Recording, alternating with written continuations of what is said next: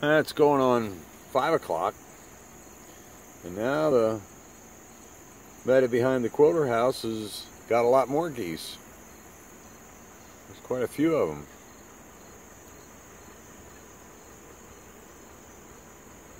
Huh.